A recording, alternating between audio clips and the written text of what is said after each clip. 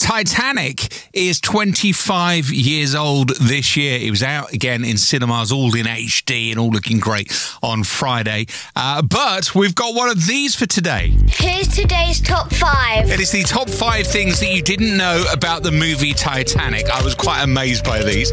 At number five, Leonardo DiCaprio and Kate Winslet were not first choice to play a young Jack and Rose. Apparently, Gwyneth Paltrow and Matthew McConaughey were.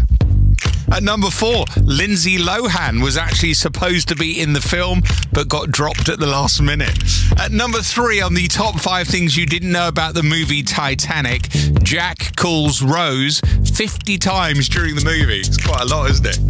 Uh, number two, it cost more to make the movie than the actual ship originally cost to build. Incredible.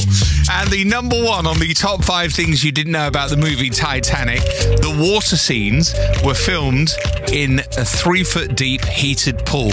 Kind of changes the whole movie, doesn't it? There you go. Enjoy Titanic. Can't believe he's 25.